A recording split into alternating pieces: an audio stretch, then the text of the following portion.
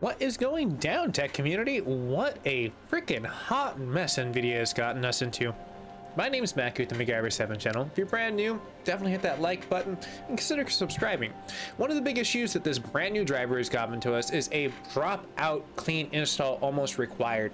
When you look at the control panel, it, it looks brand new, which we'll look at for a split second. We're going to be reviewing the patch notes and lining up some benchmarks to see what has actually improved.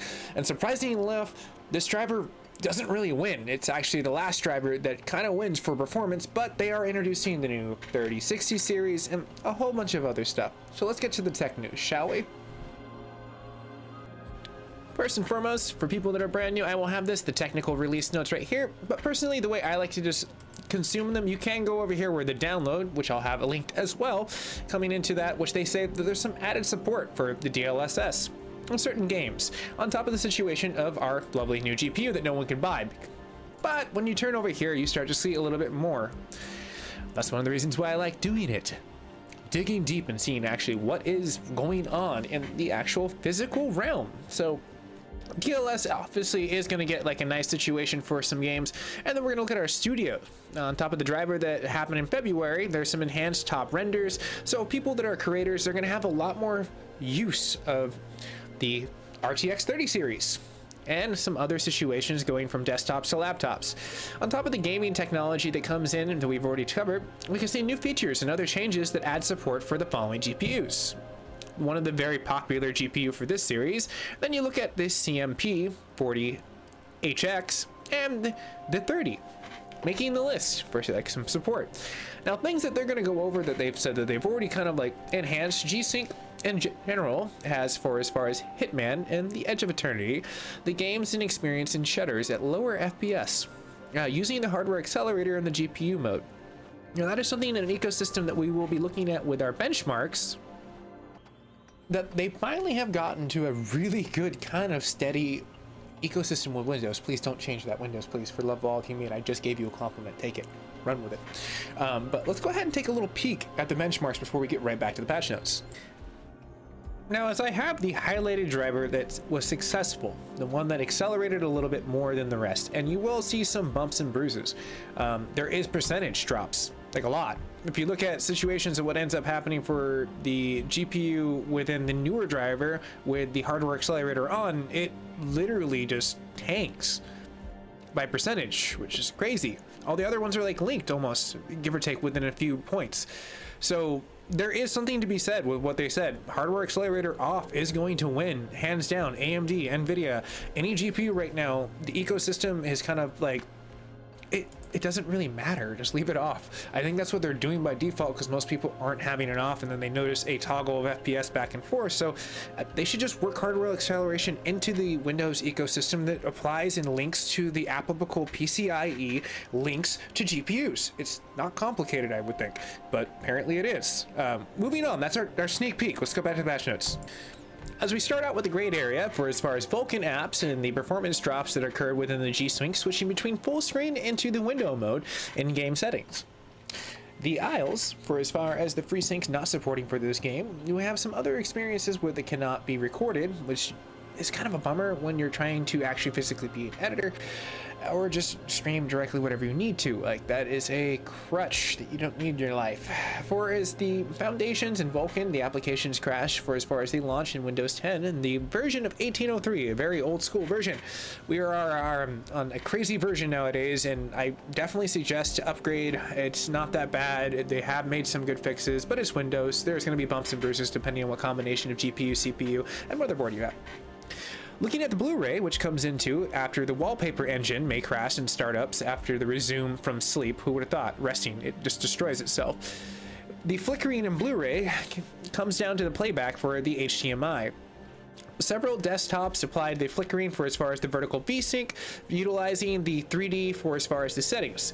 Uh, Ampere comes down in Chrome and Edge and experiencing random TDR when browsing, meaning that it is basically pegging the crap out of that. And one way you can do that is Control Delete your system, go inside of over here, and you're instantly going to be able to pull this up. I know that's a little bit of a crazy thing. I just tanked my CPU for a split second, but you can see you can look at your memories of everything. So you control delete, go through that way, go to your GPU, and you'll notice that if you open up a browser like I have, I'm recording, I'm producing in 4K. It's a lot of crazy crap.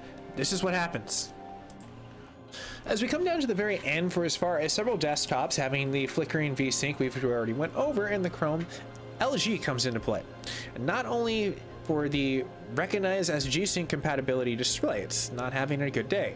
Now it should. All these issues that we're covering should be fixed. So definitely if you have not seen the performance and leave a what you have for CPU and GPU down in the comments down below. I would hear volumes with your wisdom and experience and what you're experiencing. For as far as the sound in the RTX and the 30 series, the PC may display no signal in the message when enabling the surround sound. That's not going to be around that good. But looking at for as far as what we can see for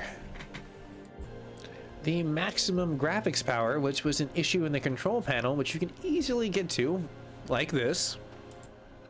As you can see, my desktop pokes out in the back. Just click here. This is also a good way to check out what version you have. One of the issues that I ran into when looking at what was happening, you can go to your system information. You'll basically be able to tell everything from there. It should be fine.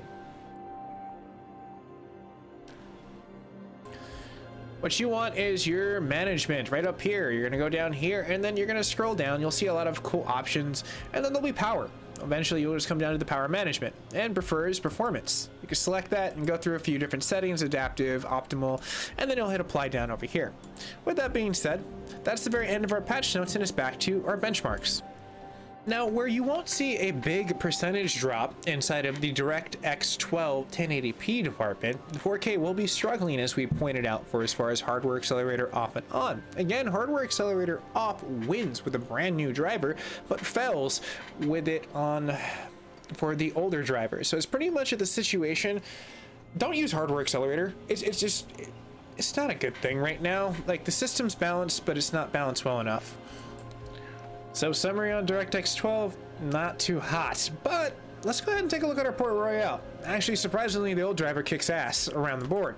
As you can see, it fails, not by a percentage, but by at least 100 points hardware accelerator off and on and that's what you should be seeing even with the hardware accelerator off winning considering that the old driver is on the left new driver is on the right hardware accelerator on is on the top and hardware accelerator off is on the bottom. So you can look at these charts. For returning community members, you know exactly how I flow, but for most people this far in, you can kind of see what the charts are looking at. Now moving on to DirectX 11. We've cleared a few of the situations out of the roll. 4K is on the table, and we're eating it, consuming it. And as we can look at it, there's not a lot that has changed. Driver to driver, old driver wins, hardware accelerator off. Looking at situations as they unfold for Extreme and as we get down to the bare 1080p with Firestrike, and this is where you see it get really strange.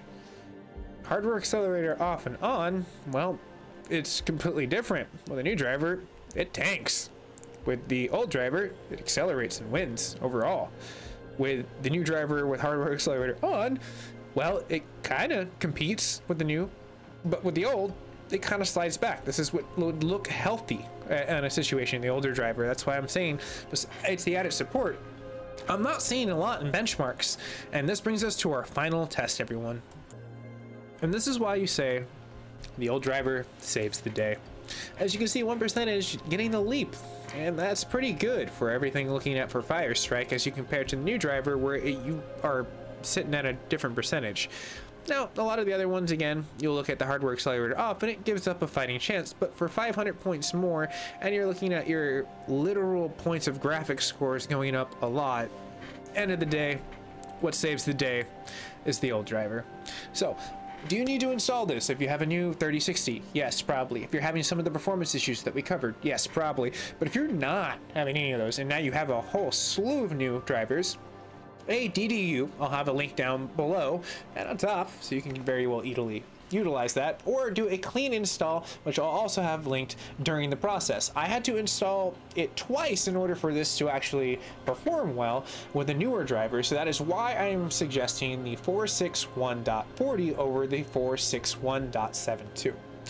Alright everyone, have a very nice day. See you guys and gals in the near future. And if you are new, hit that subscription. It is brand newly free at the situation of always in my channel.